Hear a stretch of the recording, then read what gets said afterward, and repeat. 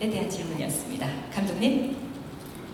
You know, uh, you know, Star Trek's been around for 50 years, and um, I remember when we sat down, uh, we talked about how it'd be great to be able to get moments of these characters, maybe slice of life moments, um, just something that I think in the original show you maybe not see, you know. And I remember when Simon came up with the idea, um, I was surprised that you know uh, that it hasn't been shared in that world, in the Star Trek world. Um, so it was something that, that felt very organic um, all the way through. Yeah, I think Star Trek is very much a story about integration. It's about diversity. Uh, um, Gene Roddenberry, who created Star Trek, his uh, mantra used to be infinite diversity and infinite combinations, and Star Trek has always led the way um, in terms of uh, depicting a, a future where we all live together. Um, there is no judgment.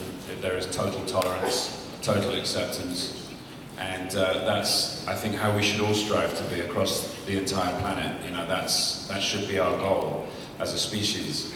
And, um, you know, so it felt like an, uh, an appropriate thing to do for the 50th anniversary, and I think something that Gene Roddenberry would have definitely approved of.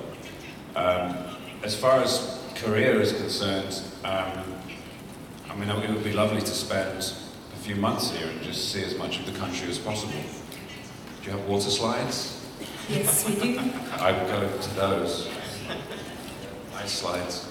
Um, no, I, I, seriously, I would, I would love to spend some time. I've genuinely, I've said it, I've said it already, but I have been bowled over by the, the welcome we've received. And um, um, this little bracelet I'm wearing is from the Radical Pegsters, who are a little group of uh, people who uh, give me lots of gifts. And um, I've never received a welcome like it. I'm genuinely touched and uh, feel very loved. 네. 오시기만 하신다면 제가 한국 가이드를 해드리도록 하겠습니다. 네. I take you up on that. 네. 자, 그러면 이제 마지막 인사 말씀을 네 분께 청해 드려